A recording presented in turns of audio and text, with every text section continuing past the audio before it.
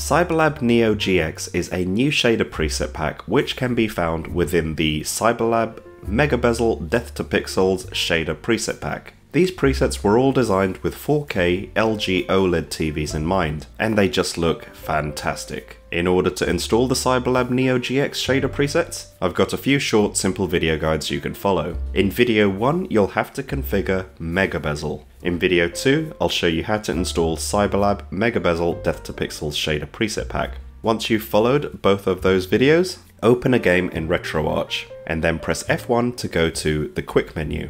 Once you're in the quick menu, you want to go all the way down to shaders.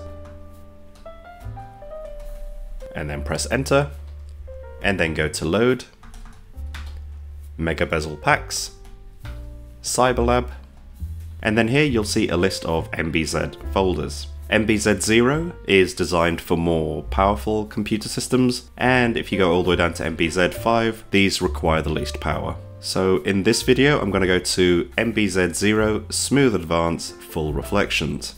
And then once you're here, go down to Cyberlab Neo GX 4K presets.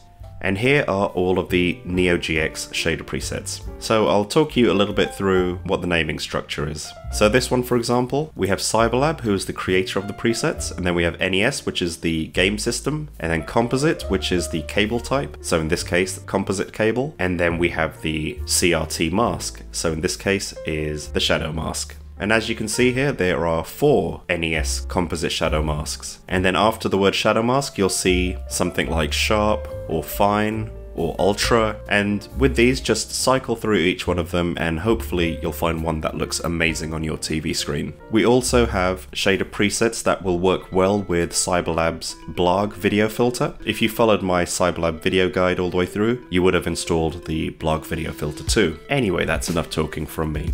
Here's a quick showcase of Cyberlab's Neo GX shader presets for RetroArch.